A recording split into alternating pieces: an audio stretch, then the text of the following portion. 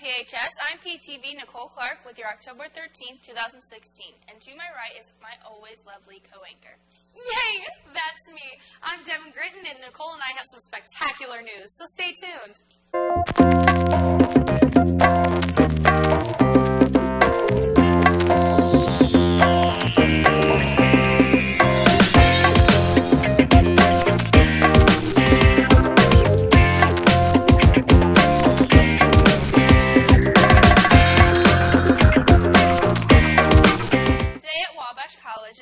Resource Center. So if you are interested, make sure you go and check it out. Other SRT meetings are Bridge Bus Room in 218, Newspaper Room 120, and Heart Club in Room 107. As you may have heard, LJH is playing the second annual Fall Festival, which is a fundraiser for their school. You can enjoy the haunted school and trick or treating, so please mark your calendars. It will be held on Friday, October 28th from 5:30 to 6:30. It will be the family friendly. Then from 7 to 9, they're going to scare it up a little bit. Then on Saturday, October 29th, from 5 to 6 will be the family friendly. Then from 6.30 to 8.30 for some more scares. The cost is $5 for trick-or-treating and $10 for the haunted school. The fall festival includes trick-or-treating, and we are seeking donations of bags of Halloween candy. Donations can be brought to the office anytime now and the festival. All donations are accepted. Plymouth High School Pride of Plymouth Marching Band attended the Indiana State School Music Association Scholastic Tournament last weekend at the Homestead High School in Fort Wayne. This is similar to sectionals for the athletics. The band earned a gold award rating, the special with the distinction award in all three categories, music, visual, and effect. The band will now compete this weekend at Chesterton High School at the Indiana State School Music Association Regionals Contest, where the top 10 schools will advance to the semi-state to complete October 22nd. Now through October 24th, Quinn Sellner and her Plymouth High School Life Skills program are holding their annual popcorn sale fundraiser. These little bags of heaven are perfect gifts for your trick-or-treaters, class, and or family snacks. Cost per bag is $1.25. Popcorn will be delivered Thursday, October 27th this year. The class is making Chicago-style mix with caramel and cheddar cheese. And it's a perfect mix of salty and sweet, cheese, and buttery treat. The portions are packaged individually in the festive Halloween bags decorated with ribbons. Special orders are welcome ahead of time. Please email Quinn Sellner at qsellner at plymouth.k12dian.us with your order and where you would like your yummy snack to be delivered. Proceeds go towards supplies and activities for the PHS Life Skills program. As you know, the end of the first quarter is up. Check your grades and prepare for the best or the worst because Friday, October 14th, in our first period, you can get handed a report card that mom and dad will likely be asking for. If you didn't do so hot, you can always try and make the next nine weeks better.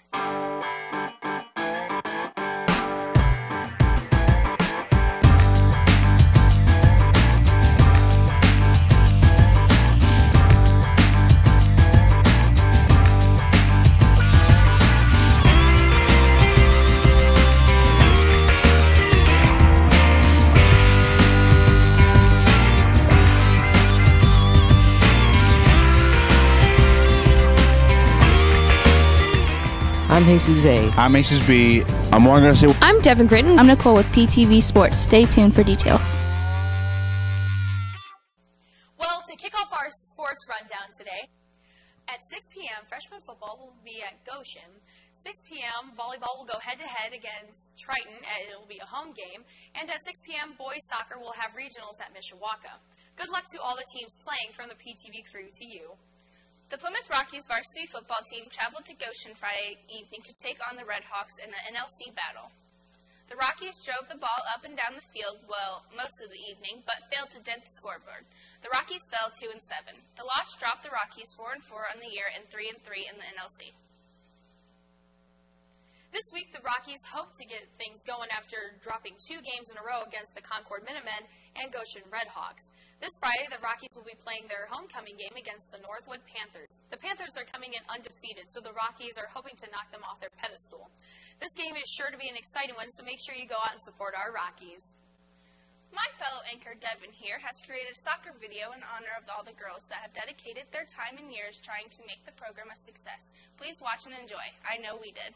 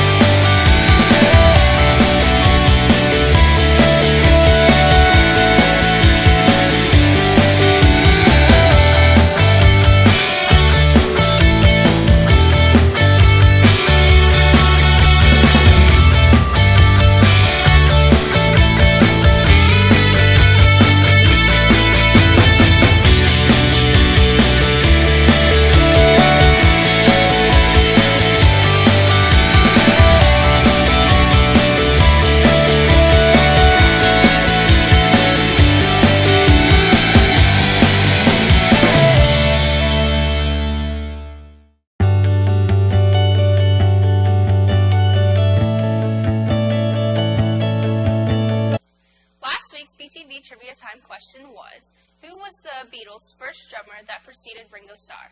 The class Miss Wet was the donut winner, so let's go in there.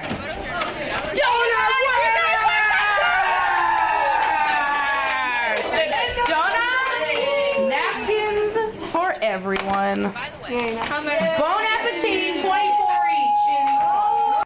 It's that time of the week again, trivia time. This week, our question is What does Indiana produce more than any other state per capita? If you know the answer, call the extension 1241 now, and you might be able to win the signature PTV prize a couple bags of delicious donuts for your whole room. Again, the question is does, What does Indiana produce more than any other state per capita? If you know it, make sure you bring home the prize for your SRT right now by calling the extension 1241. Good luck. today has been such a good day so far. You know what would make it better though? What? If I knew it was for lunch today. Well, for lunch today, we'll be having mini corn dogs, broccoli with cheese, fruit and vegetable bar, and cute little bunny crackers. Today, WSOI juniors are taking a field trip to IUSB and Ivy Tech while the traditional students took it yesterday. This field trip for the juniors was designed to show students what IU and Ivy Tech has to offer as they re-embark on going to college after high school. Both higher learning institutions are very affordable and have extremely close proximity to Plymouth. By the way, a few members of our PTV crew are going to be starting to do a bi weekly podcast discussing movies, TV shows, and music. Make sure you keep the lookout for our PTV YouTube channel. Ladies and gents, from October 17th through the 21st, PCSC will be experiencing fall break. I hope everyone has an amazing week off and falls in love with Indiana's changing of the seasons. That's all we have for you guys today, so stay tuned every Thursday for more entertaining Fascinating. and overall captivating news. Have a great day, PHS, and go Rockies.